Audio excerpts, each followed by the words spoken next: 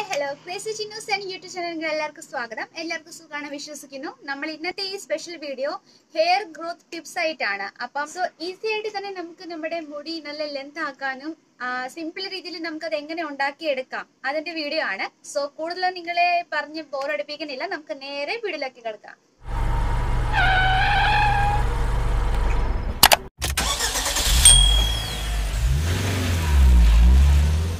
നമുക്ക് ഈ ഓയിൽ എങ്ങനെയാണ് റെഡി ആക്കണേ നമുക്ക് ഇനി നോക്കാം.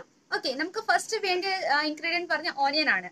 ഓനിയൻ നല്ല രീതിയിൽ കട്ടാക്കി കഴിഞ്ഞിട്ട് വാഷ് ചെയ്ത് കഴിഞ്ഞിട്ട് നാല് പീസ് അത് കട്ടാക്കി എടുക്കുക. എന്നിട്ട് മിക്സിനകത്ത് ഈ ഓനിയൻ ഇട്ടിട്ട് ജസ്റ്റ് ഒരു പ്രാവശ്യം ബ്ലെൻഡ് ചെയ്ത് എടുക്കുക. ചെയ്ത് കഴിഞ്ഞിട്ട് അതിനകത്ത് നമ്മുടെ ഗാർലിക്കും അത് കുറച്ച് ആവശ്യത്തിന് വേണ്ടി മാത്രമായിട്ട് കുറച്ച് ഗാർലിക്കും പിന്നെ അതുപോലെ തന്നെ കറി ലീവ്സും ഈ രണ്ട് ഐറ്റംസ് കൂടെ അതിനകത്ത് ഇട്ടിട്ട് നല്ല രീതിയിൽ പേസ്റ്റ് ആവുന്ന വരെ അരച്ചെടുക്കുക.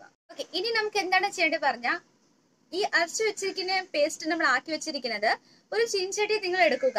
സ്റ്റീലിന്റെ നല്ല കട്ടിയുള്ള ചിൻചട്ടി ആണെങ്കിൽ നല്ലതായിരിക്കും കാരണം നമ്മളത് ഇടുമ്പോൾ ചിലപ്പോൾ അത് കരിഞ്ഞോക്കി പോകും. അപ്പം നല്ല കട്ടിയുള്ള ചിൻചട്ടി ആണെങ്കിൽ ചീൻചട്ടിയിൽ ഈ പേസ്റ്റ് മിക്സ് ആക്കി അല്ലെങ്കിൽ അതിനകത്ത് ഇട്ട് കഴിഞ്ഞിട്ട് കസ്റ്റർഡ് ഓയിൽ നമുക്ക് കുറച്ച് കസ്റ്റർഡ് ഓയിൽ അതിനകത്ത് മിക്സ് ആക്കുക. കുറച്ച് മതി. അതുപോലെ തന്നെ അതിന്റെ കൂടെ തന്നെ പാരഷൂട്ട് ഓയിൽ നിങ്ങളുടെ അളവ് എത്ര ആണ് അത്ര പാരഷൂട്ട് ഓയിൽ അതിനകത്ത് വെക്കുക.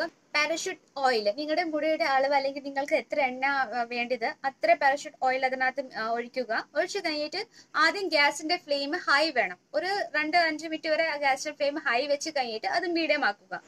ഇത് പിന്നെ നമുക്ക് twenty two twenty five minutes വരെ ഇത് നമുക്ക് ആ പ്രോസസ്സറിൽ തന്നെ ഐ മീൻ ആ ഗ്യാസിന്റെ ഫ്ലെയിമിൽ തന്നെ വെക്കണം. ആഫ്റ്റർ ട്വന്റി ഫൈവ് മിനിറ്റ്സ് കഴിഞ്ഞിട്ട് ആ ആക്കിയിരിക്കുന്നത് എണ്ണ നമുക്ക് തണുപ്പിക്കണം.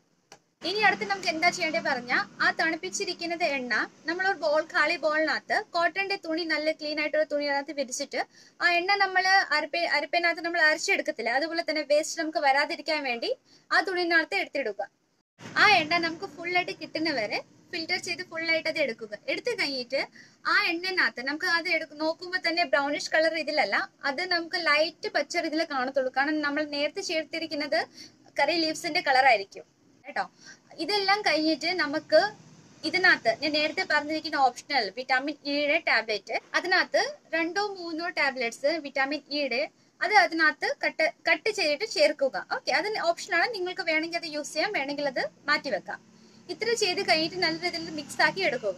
ഇനി അടുത്ത് നമുക്ക് എന്താ ചെയ്യേണ്ടത് പറഞ്ഞാൽ ആ തണുപ്പിച്ചിരിക്കുന്നത് എണ്ണ നമ്മൾ ഒരു ബോൾ കാളി ബോളിനകത്ത് കോട്ടന്റെ തുണി നല്ല ക്ലീൻ ആയിട്ടുള്ള തുണി അതിനകത്ത് വിരിച്ചിട്ട് ആ എണ്ണ നമ്മൾ അരപ്പ അരപ്പേനകത്ത് നമ്മൾ അരച്ചെടുക്കത്തില്ല. അതുപോലെ തന്നെ വേസ്റ്റ് നമുക്ക് വരാതിരിക്കാൻ വേണ്ടി ആ തുണിനകത്ത് എടുത്തിടുക. ഓക്കെ അത് കഴിഞ്ഞിട്ട് എന്താ ചെയ്യേണ്ടത് പറഞ്ഞാൽ ആ എടുത്തിരിക്കുന്നത് ആ എണ്ണ അല്ലെങ്കിൽ നമ്മൾ ഒഴിച്ചിരിക്കുന്ന തോർത്തിനകത്ത് അല്ലെങ്കിൽ ആ തുണിനകത്ത് അത് നല്ല രീതിയിൽ ഫുൾ രീതിയിൽ പിഴിഞ്ഞ് അതിന്റെ എണ്ണ ഫുള്ളായിട്ട് അബ്സോർബ് ഫുള്ളായിട്ട് കിട്ടുന്ന വരെ നല്ല രീതിയിൽ മിക്സ് ആക്കി കഴിഞ്ഞിട്ട് ഏതെങ്കിലും ഒരു ജാർ അല്ലെങ്കിൽ ചെറിയൊരു കുപ്പി ഗ്ലാസ്സിനകത്ത് നമ്മൾ ആ എണ്ണ ഫുള്ളായിട്ട് ഒഴിച്ചു വെക്കുക. ഇനി നമ്മൾ എപ്പോൾ എപ്പോൾ അത് യൂസ് ചെയ്യാൻ വേണ്ടി പോകുന്നുണ്ട് ആ ടൈമിൽ എന്താ ചെയ്യേണ്ടത് പറഞ്ഞാൽ ഒരു ചെറുതായിട്ട് ഒരു ലൈറ്റ് ആയിട്ട് ചൂടുവെള്ളം ആക്കുക. ഒരു ബോളിനകത്ത് ചൂടുവെള്ളം എടുത്തു കഴിഞ്ഞിട്ട് നമ്മൾ ഈ കുപ്പിനകത്ത് എടുത്തു വെച്ചിരിക്കുന്ന എണ്ണ ആ കുപ്പി അതുപോലെ തന്നെ ആ ബോളിലോട്ട് വെക്കുക.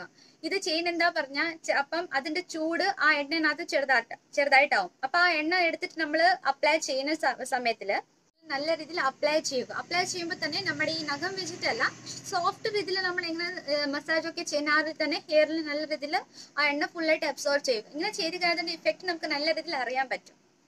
നല്ലൊരു ഓയിലാണ് വിതൗട്ട് കെമിക്കൽ നമ്മൾ വീട്ടിൽ തന്നെ നല്ല രീതിയിൽ ഫ്രഷ് ആയിട്ട് ഉണ്ടാക്കുന്ന ഒരു ഓയിലാണ് നിങ്ങൾ എല്ലാവരും അത് യൂസ് ചെയ്ത് നോക്കുക. അതിന്റെ ബെനിഫിറ്റ് തീർച്ചയായിട്ടും നിങ്ങൾക്ക് തന്നെ അത് അറിയാൻ പറ്റും.